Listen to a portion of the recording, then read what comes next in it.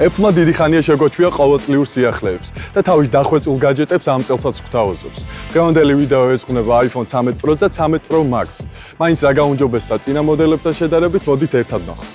iPhone-ის Pro ვერსია, რომელსაც უკვე მივაჩვიეთ, კომპლექსური და საინტერესო მოვლენების შედეგად გაჩნდა. ჯერ კიდევ 2019 წელს Apple-მა გაამარტივა მობილურის დასახელება, ყველას გახსოვთ iPhone-ის X, XS, XR-ის დასახელებებით, რაც ზოგჯერ მომხმარებლის დაბნელობას იწვევდა. მაშინ გაჩნდა მე-11 სერია და მისი Pro ვერსია, დამატებითი კამერითა და OLED ეკრანით. გადლიერებული კამერის გამო Pro ვერსია გათვლილი იყო ფოტოგრაფებს. მე-12 სერიით Apple-მა დაარეგულირა ფასები და უფრო ნათელი გახადა, რომ Pro ვერსია სჭირდება მათ, ვისაც მაქსიმალური კომპლექტაცია სურს iPhone-ისგან. რის შედეგადაც მივიღეთ iPhone-ის 4 4 ვერსია: mini, სტანდარტული, Pro და Pro Max. წელს ეს ყველა მოწყობილობა განახლდა. და მაინც რა დაიხვეწა ახალ iPhone-ებში, კონკრეტულად კი Pro მოდელებში. განახლებული სამაგი კამერა, უნიკალური კინემატოგრაფიული ვიდეო გადაღებით, 120 Hz-იანი ეკრანი, ახალი A15 პროცესორი, გაორმაგებული მეხსიერება და უფრო დიდი ელემენტი. მოდით უფრო დეტალურად განვიხილოთ მისი კამერა. კამერებს iPhone 13 Pro-ში ყველაზე დიდი ყურადღება დაეთმო. მთავარი ფართოკუთხოვანი კამერის ახალი 12 მეგაპიქსელიანი სენსორი ფიზიკურად უფრო დიდია ვიდრე წინა მოდელს ჰქონდა და დამატებული აქვს სენსორული ცვლის ტექნოლოგია. ეს გაუმჯობესებული მთავარი კამერა პირველად iPhone 12 Pro Max-ზე ვიხილეთ. წელს კი გადავიდა პატარა iPhone Pro-ზე. იმავდროულად 12 მეგაპიქსელიანი ультра ფართოკუთხოვანი კამერა აღჭურვილია უფრო დიდი დიაფრაგმითა და ახალი მაკრო გადაღების ფუნქციით. ხოლო 12 მეგაპიქსელიანი ტელეფოტო კამერა განახლებულია 3x ოპტიკური მასშტაბირებით, რაც უდრის 77 მმ-იანი ობიექტივის ეკვივალენტურ ფოკუსურ მანძილს. მთავარი კამერის სენსორი არა მხოლოდ უფრო დიდი ზომისაა, არამედ მას აქვს უფრო ფართო და ღია დიაფრაგმის ობიექტივი, რაც მას კიდევ უფრო შეუდარებელს ხდის ღამით გადაღებისას. iPhone 13 Pro-ს ახალი მთავარი სენსორი აღიქვამს უფრო ფართო დინამიურ დიაპაზონს და მუქ ფერებს. ultra-wide კამერა ასევე აღჭურვილია უფრო დიდი დიაფრაგმით, რომელიც ეხმარება მას დაბალი განათების პირობებში, თუმცა არა იმდენად, რამდენადაც მთავარ კამერას.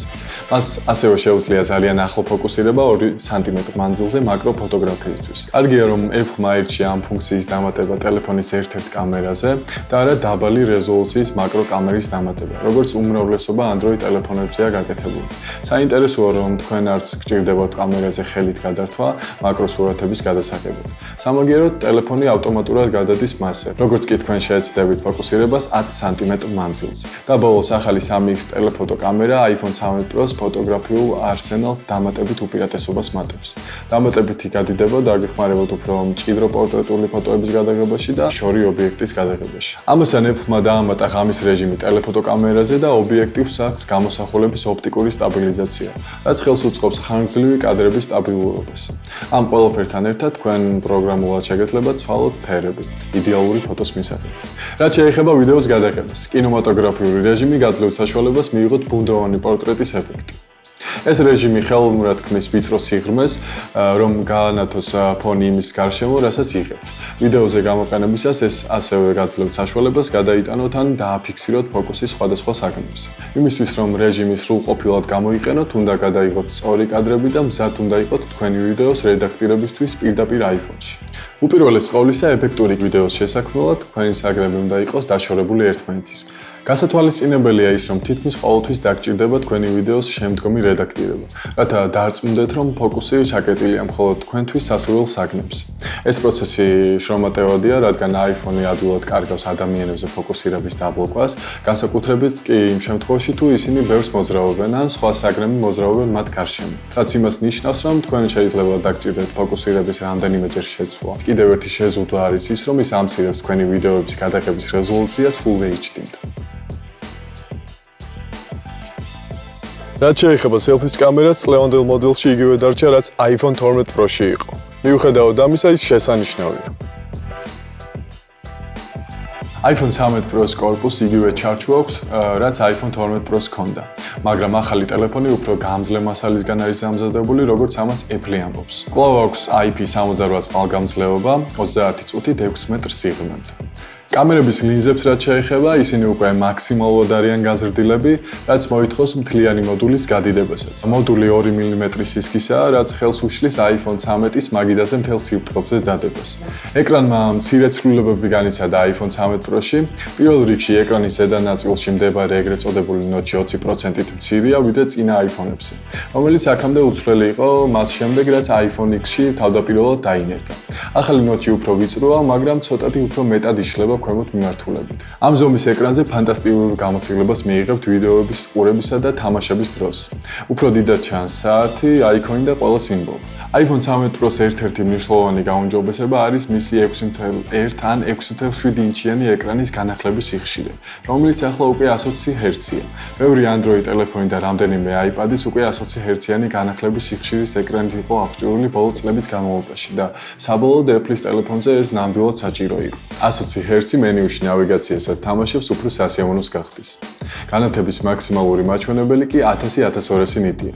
iPhone 13 Pro-ში ახალ A15 Bionic პროცესორს აქვს დამატებითი ბირთვი. შარშანდელი A14 პროცესორისგან განსხვავებით, რაც მნიშვნელოვანი განახლებაა. ეს ფუნქცია ძირითადად გავლენას ახდენს ახალი 120 Hz-იან ProMotion Display-ის მუშაობაზე. ProMotion იგულისხმება ჭკვიანი პროგრამა, რომელიც თავად არეგულირებს კადრების განახლების სიხშირეს და მაქსიმალურ 120 Hz-მდე წევს მას. ნაკლები დატვირთვის შემთხვევაში შეიძლება ეკრანმა 10 Hz-ც კი იმუშაოს. Apple-მა გაზარდა შიდა მეხსიერების მაქსიმალური ტეოდობა 1 ტერაბაიტამდე.